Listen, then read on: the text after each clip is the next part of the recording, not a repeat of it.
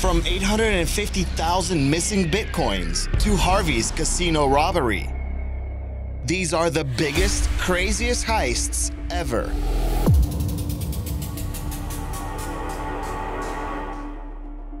Number 10. The Theft of the Mona Lisa. Before Leonardo da Vinci's Mona Lisa was considered the most famous piece of artwork, the Louvre did not hide it behind bulletproof glass. In fact, it only took one guy in a lab coat to steal this painting in 1911. Vincenzo Peruggia was a former worker at the Louvre who snuck inside the museum, waited for the room where the painting hung to empty out, took the painting off the four iron pegs, wrapped it in his lab coat, and left the building the same way he came in, through a side door. He hid the painting for two years inside a trunk in France and later moved it inside a different trunk in his new apartment in Italy. He grew impatient and eventually tried to sell the painting to an art gallery. Weird, I know. He was busted immediately and the painting was returned to the Louvre safely. If you're thinking about doing a quick theft of the Mona Lisa again, know that it is worth about $780 million, so security has definitely beefed up. Just a little bit. Number 9. America's Data The Equifax Breach.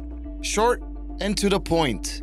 In today's online world, data is, is sometimes more valuable than cash. Sure, the amount of personal data that Facebook, air quotes, lost is horrible and leaves a pretty bad taste in your mouth. But it's nothing compared to the amount of personal, highly sensitive data Equifax gave away. Around 145.5 million Americans, up to 44 million British, and 8,000 Canadian residents were affected by the breach. And let's be honest, you signed up for the Facebook one. From the simple stuff like previous addresses to the unthinkable social security numbers, everything was hacked. Nothing has happened with the company yet, and after a sharp decline in their stock value, it seems to be normalizing again. What do you think? Should any one company hold this much personal data? And what is the alternative? Number 8. MT Gox. If you have lost a bunch of money on the crypto market in the past three months, you shouldn't feel too bad. A 70% correction is awful, but it's not as bad as losing 100% of your holdings. That's exactly what happened to most users of the now infamous online exchange, MT Gox. Side note, I always feel like I want to call it Mount Gox, but it actually stands for Magic the Gathering Online Exchange. What does Magic the Gathering have to do with Bitcoin? Nothing. The owner of the website decided to capitalize on the emerging cryptocurrency market back in 2010. By 2014, the exchange was handling more than 70% of all Bitcoin transactions in the world. That was in January. In February, the exchange suspended trading, and by April, the company began liquidation proceedings. Even though most traders knew they were screwed, MT Gox announced that about 850,000 bitcoins were missing. In 2014, that was about $450 million. At the height of the market in 2017, the bitcoins would have been valued at a cool $17 billion.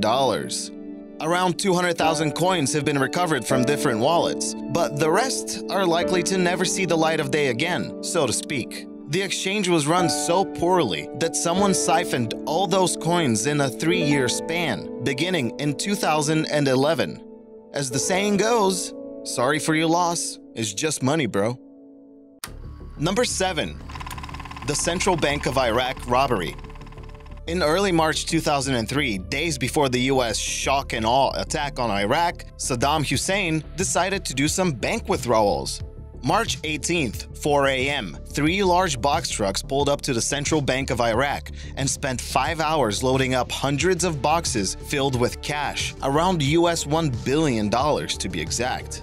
It was Saddam's insurance money. He was trying to make sure that he and his son would have enough cash for the rest of eternity, and everything was going great until the eventual collapse of the country and the death of both Saddam and his son. The money was seized by US forces when they found aluminum boxes containing $4 million in cash each. During the counting process, hundreds of thousands of dollars disappeared or made their way to the USA.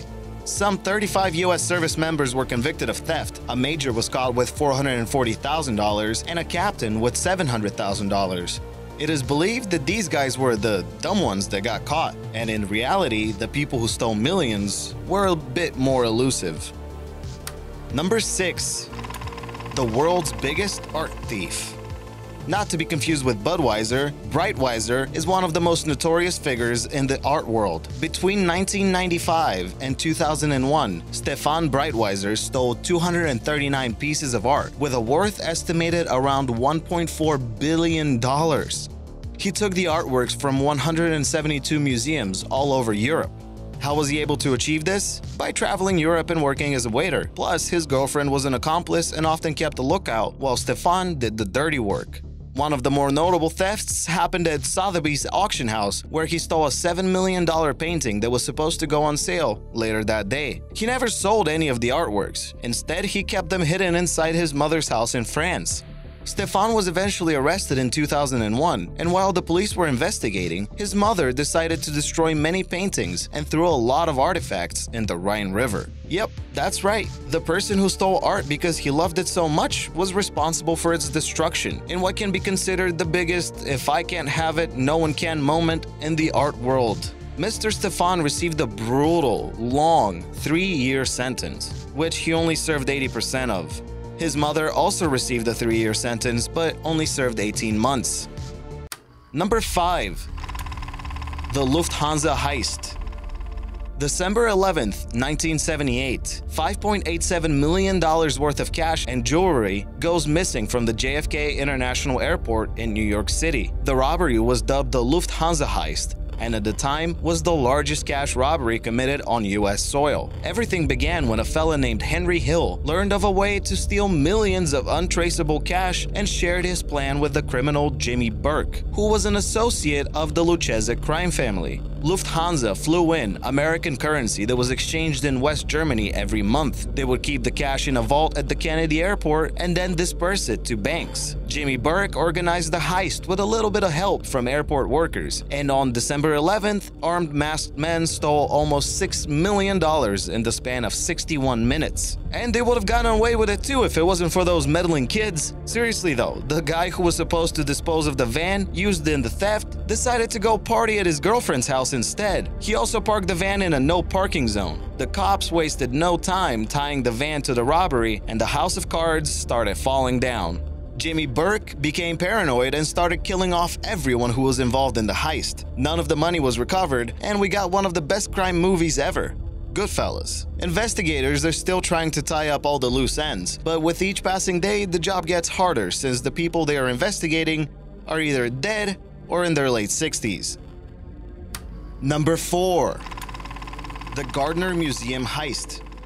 During the continued festivities of St. Patrick's Day in 1990, the Isabella Gardner Museum was visited by two police officers who were responding to a disturbance call. One of the two guards on duty that night decided to let them in. Surprisingly, the officers claimed that the security guard looked familiar and arrested him on the spot. Then the other security guard showed up. Instead of saving his buddy, he was also quickly arrested. After some pleading with the officers, the two guards finally realized what was happening. After one of the police officers told them that this was no arrest, but in fact, a robbery. So the fake officers of the law spent 81 minutes stealing various paintings, including two Rembrandts, and most notably, The Concert by the Dutch painter Johannes Vermeer. This painting is valued at over $200 million, and it is the most expensive stolen painting ever. In total, the thieves took 13 pieces, or $500 million worth of art, and disappeared into the night. And that's it. They were never caught, but the FBI is still actively pursuing leads, and their latest house raid was in May 2016.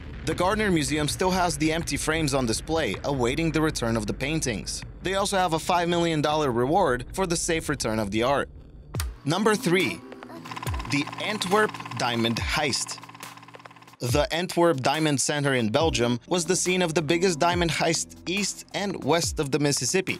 Leonardo Notarbartolo rented an office in the same building where he posed as an Italian diamond merchant to gain credibility and a 24-hour access to the center. He stuck with the ruse for two and a half years until it was time for the ultimate heist. His crew gained access to the main vault through sheer ingenuity. The vault that was protected by seismic sensors, Doppler radars, a lock with 100 million possible combinations, infrared heat detectors, and even a magnetic field. In other words, it was supposed to be impenetrable. The thieves broke into 123 out of the 160 safe deposit boxes and made away with more than $100 million worth of diamonds, jewelry, and gold. They also stole the surveillance footage, and it seemed like they had thought of everything. Well, almost. Just like any genius thief, Leonardo made just one crucial mistake. When he was getting rid of the security tapes, he also threw away a half-eaten sandwich. And through DNA testing, he was implicated in the robbery. He never gave up anyone else from the crew and received a 10-year sentence. None of the stolen property was ever recovered, and since this is such an awesome story, J.J. Abrams is expected to produce the movie about it. Number 2.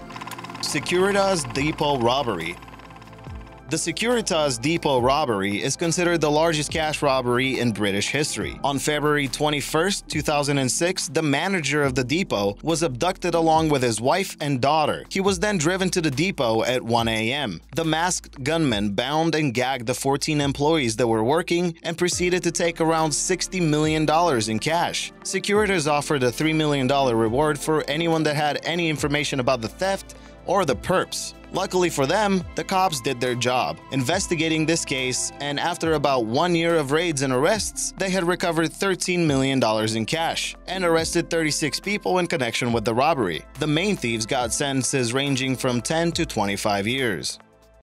Number 1. Harvey's Resort Hotel Heist Stern warning to the management and bomb squad. Do not move or tilt this bomb because the mechanism controlling the detonators in it will set it off at a movement of less than 0.01 of the open-end Richter scale. Don't try to flood or gas the bomb. There's a float switch and an atmospheric pressure switch set at 2633. Both are attached to detonators. Do not try to take it apart. The flathead screws are also attached to triggers, and as much as one-fourth to three-fourths of a turn will cause an explosion. In other words, this bomb is so sensitive that the slightest movement either inside or outside will cause it to explode. This is the ominous note that Bob Vincent, a graveyard shift supervisor at Harvey's Wagon Wheel Casino in Lake Tahoe, found in the early hours of August 27, 1980. The note was attached to this hunking piece of metal, which was filled to the brim with TNT and had 23 ominous switches. So that was letter number one. The second letter consisted of the mystery man's demands. We demand $3 million in used $100 bills. They must be unmarked, unbugged, and chemically untreated. If we find anything wrong with the money, we will stop all instructions for moving the bomb. At some point, right in between reading these two letters, everyone involved realized that this is not a joke at all. Nearby businesses were also evacuated by the National Guard, and the FBI quickly set up camp across the street. The demands of the robbers only increased in difficulty. The plan was extremely thought out and included every detail. A chopper was to gather the money, fly to a deserted airfield, cut off all contact with law enforcement, and await more instructions. The final instructions that the pilot found were From the time you receive the telephone call, you have three minutes to get airborne. Follow Highway 50 to the west, on the right hand side in a straight line. Don't go over 500 feet above the elevation of the terrain. Approximately 15 miles west of the airport, start looking for a strobe light on your right. A radar gun will be aimed at a 45 degree angle in your direction, and will turn on the strobe automatically when it catches you in its range. Again, no communication with anyone or by any means. You have 4 minutes to land after the strobe turns on, because after 4 minutes, all lights will go off automatically.